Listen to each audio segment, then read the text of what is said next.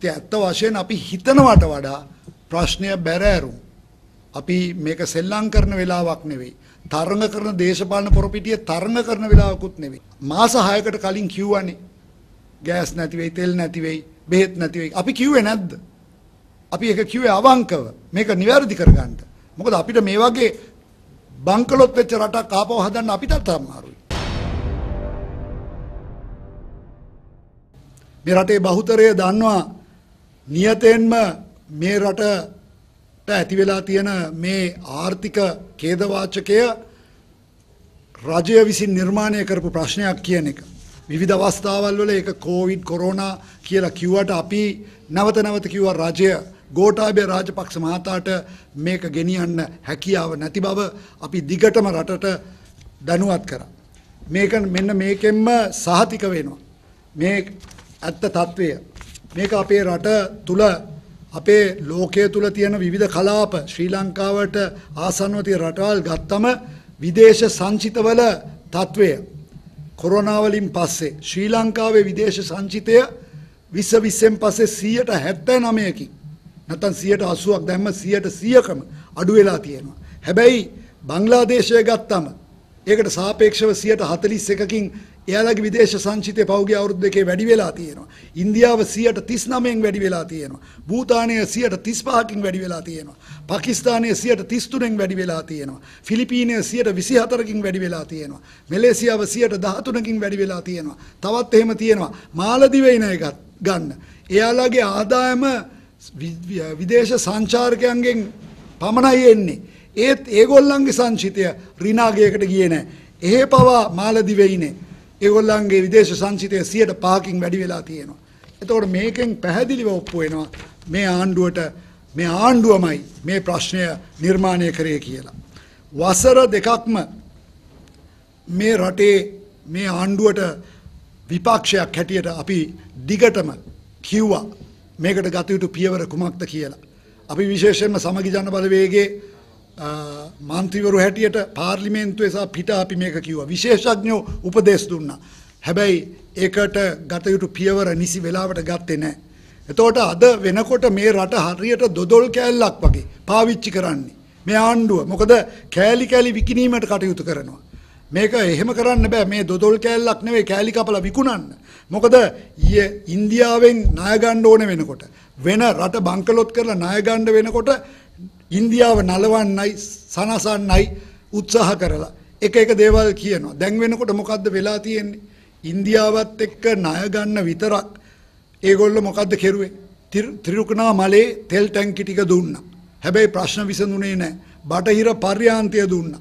ඊයේ පෙරේදා නැවත මුදල් ණයක් ලබා ගන්න ඉන්දියාවෙන් සාම්පූර්වල බලාගාරයක් දෙන්න එකඟ වුණා. අපිට ආරංචි යාපනයේ බලාගාරවල් දෙකක් ඉන්දියාවට දෙන්න යනවයි කියලා. මෙහෙම රටක් ගෙනියන්න පුළුවන්ද? අපේ රටේ අපේ විදුලි ආරක්ෂ විදුලි බල සුරක්ෂිතභාවය ඒ වගේම අපේ ජාතික ආරක්ෂාව ගැන නොහිතා ණය ගන්නම රටේ කෑලි එක එක රටවල් වලට දෙන එක අපට බොහොම භයානක තත්ත්වයක් ඇති වෙනවා. ඒ නිසා මේකත් එක්ක අපි හිතන්නේ මෙහෙම යන්න බෑ. අපි හිතනවා නිවාඩ් කබ්‍රාල් මහතා මහා බැංකුව අධිපතිවරයා හැටියට එතුමා එක්ක අපි සාකච්ඡාවක් කරා. අපට එකඟ වෙන්න පුළුවන් හිතට එකඟ වෙන්න පුළුවන් නිහතමානී උත්තරයක් වැඩපිළිවෙලක් ගැඹුරු විශ්ලේෂණය කරපු වැඩපිළිවෙලක් ස්වර්ව ආර්ථිකය ගොඩ ගන්න පුළුවන් වැඩපිළිවෙලක් ආණ්ඩුව තුල නැහැ කියන එක අපට සාතික වුණා. එම නිසා මේක බරපතල ප්‍රශ්නයක්. අපි ඒ වෙනුවෙන් විකල්ප සැලැස්මක් හදන්නට අපි කල්පනා කරා. මේ රටේ විකල්ප ආණ්ඩුව අපි සමගි ජන බලවේගය. එනිසා අපි ලෝකෙත් එක්ක තරඟ කරන්න පුළුවන් ඒවගේම ලෝකෙත් එක්ක වැඩ කරන හැටි හිතන්න පුළුවන් සුසමාදර්ශි වෙනසක් මේ රට තුළ ඇති කිරීමට අවශ්‍යය කියලා අපි විශ්වාස කෙරුවා. මේ ආර්ථිකය ගොඩ ගන්න නම් මේ රටේ මූල්‍ය පද්ධතිය රීසෙට් කරන්න ඕනේ. ඒක නොකර අපට ඉස්සරහට යන්න බෑ. අපි ව්‍යුහාත්මක වෙනසක් ඇති කිරීමට හයිය තියෙන්න ඕනේ. අපි ඒ ගැන කල්පනා කර ඒක පදනම් කරලා තමයි අපි පටන් ගන්න ඕනේ. සමහර අමාරු තීන්දුව ගන්න ගන්න වෙනවා. රටක් හැටියට පොඩි කාලයක් අපි ඔක්කොමලා කැපවීම කරන්න සිදු වෙනවා. හැබැයි ඒවා අවංක තීන්දුව එන්න ඕනේ. මේක දේශපාලනය කරන වෙලාවක් නෙවෙයි. අපි පාරේ විරෝධතා කරනවා උද්ඝෝෂණ කරනවා. හැබැයි එතනින් එහාට මේ රට බාර අරගෙන හරි මාවතට ගෙනියන්නට අපට වැඩපිළිවෙලක් තියෙන්න ඕනේ. ඒ නිසා සමගි ජන බලවේගයෙන් අපේ ආර්ථික අ, කේන්දරයෙන් අපේ අ, කල්පනා කර අපි ඉදිරියේදී අපි සූදානම් වෙනවා අපි හිතනවා මේ රටේ බලය වෙනස් වෙන්න ඕනේ කියලා. අපි හිතනවා මේකට අලුත් වැඩපිළිවෙලක් අවශ්‍යයි කියලා. ඒ නිසා අපි තීරණය කරා ඉදිරියේදී එන සතිව කීපයක අපි විවිධ ජනකාණ්ඩ එක්ක කතා කරන්න බලාපොරොත්තු වෙනවා. විවිධ ආර්ථික ශේෂ්ත්‍රත් එක්ක අපි සංවාදයක් ඇති කරන්න බලාපොරොත්තු වෙනවා. සිවිල් කණ්ඩායම එක්ක කතා කරන්න බලාපොරොත්තු වෙනවා. ආගමික කණ්ඩායම එක්ක කතා කරන්න බලාපොරොත්තු වෙනවා. ඒ වගේම ආගමි ආගමික නායකයන් එක්ක විශේෂඥ බුද්ධිමතුන් ඒ වගේම වාණිජ මණ්ඩල සහ අ, විවිධ අංශවලට කතා කරලා අපි අපේ බ්ලූප්‍රින්ට් එකක් අපේ වැඩපිළිවෙලක් ගැන අපි සාක්- සංවාදයක් මේ රටේ ඇති කරන්න බලාපොරොත්තු වෙනවා. හැබැයි ඕනෑම දෙයක සියලු දෙයක් දෙනත් එක්ක තමන්ට ඒ කාණ්ඩායම් එක්ක කතා කරලා එයාලගෙත් අදහස් එකතු කර ගැනීමත් එක්ක මේ රට හරවන්න කෙටිකාලීන මධ්‍යකාලීන දිගුකාලීන වැඩපිළිවෙලක් හදන්න අපේ රට බේරා ගැනීම සඳහා අපි බලාපොරොත්තු වෙන වැඩ කරන්න. අපි බලය ගන්න නෙවෙයි අපේ ප්‍රධාන අරමුණ වෙන්නේ බලය ගැනීම විතරක් නෙවෙයි. අපේ ප්‍රධාන අරමුණ මේ උකස් කරපු රට නැවත අපේ අනාගත පරම්පරාවට අයිති කරලා දීම ප්‍රධාන අරමුණ.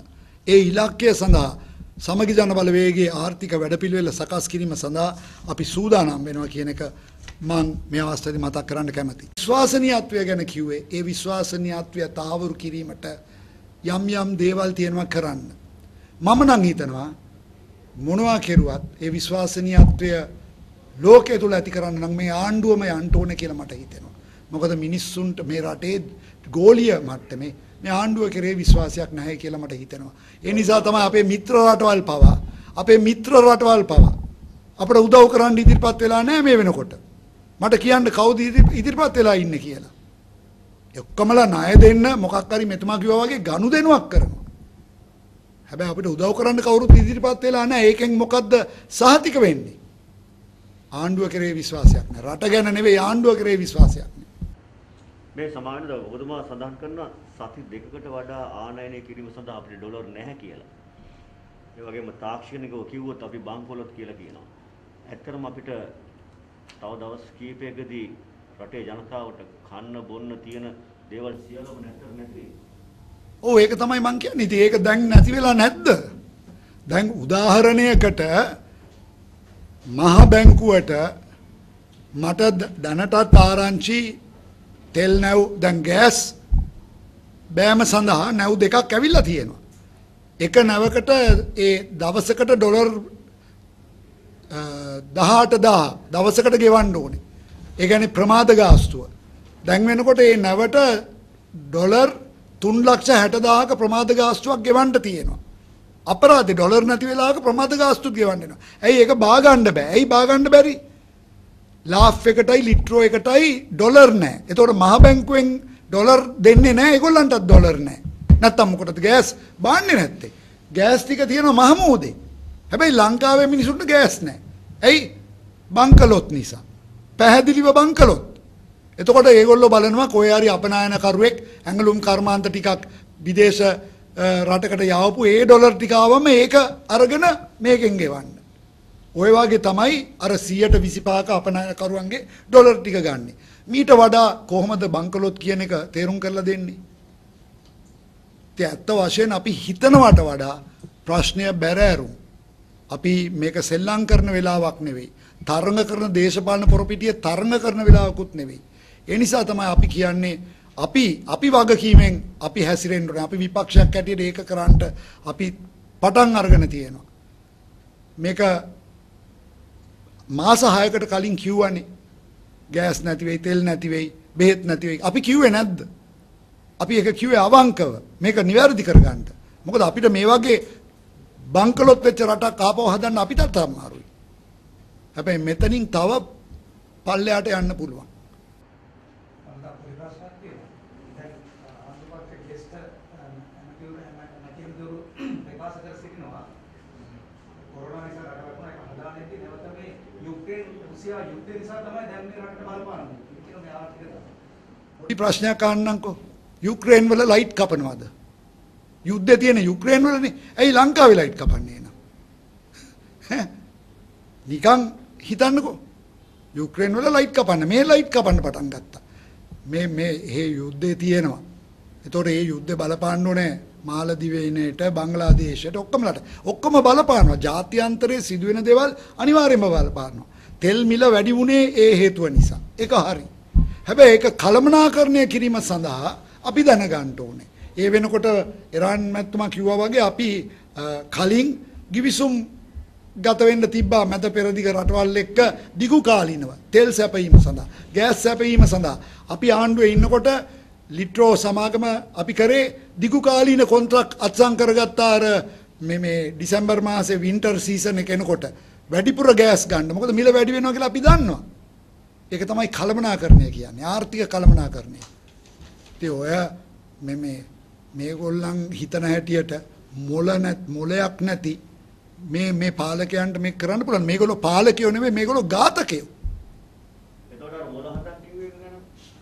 ඒක තමයි දෙයනේ මේ ඒක හතෙන් බෙදලා එකක් කරගන්න පුළුවන් නම් ඒ එක මොලෙන් හරියට හිතන්න පුළුවන් නම් ඇති කියලා මම ප්‍රාර්ථනා කරනවා. හතක් ඕනේ නැහැ ඒ හතම එකතු කරන්න කියන්නේ. විකල්ප නැහැ. අපි කිව්වනේ හර්ෂඩි සිල්වා කි- කොච්චර කිව්වද අර MMT කියන්නේ සල්ලි අච්චු ගහන්න එපා දෙයියනේ කියලා. දැන් මේ සිම්බාබ්වේ තැනකට යනවා මේම නැවැත්තුවේ නැත්තම්. හරි වීල්බැරෝ එකක සල්ලි ගෙනියන්න වෙනවා බඩු ගන්න. දැන් කියන්න අද මේ කියන්නේ බෙහෙත් වැඩි වෙනවා. එතකොට තෙල් වැඩි වෙනවා. ගෑස් වැඩි වෙනවා. ඒකෙන් මොකද වෙන්නේ? එතකොට ඩී- මේ මේ ප්‍රවාහන ගාස්තු වැඩි වෙනවා. එතකොට අපි ඊළඟට ඒකෙන් අනිත් ඔක්කොම වැඩි වෙනවනේ. ගෙවල් වලට ගන්න බඩු මුට්ටු ඔක්කොම වැඩි වෙනව නේද? එතකොට වැඩි වෙලා වැඩි වෙලා කොතනද කෙලවර වෙන්නේ? ඒ නිසා මේක හිතුවට වඩා බරපතලයි මම විශ්වාස කරනවා. ඒකයි අපි කඩිනමින් සමගි ජන බලවේගය සූදානම් වෙනවා. සැලසුම්ගතව රට බාර ගන්න විතරක් නෙවෙයි රට හදන්න අපිට විශ්වාසයි මේ රට හදන්න පුළුවන් කියලා.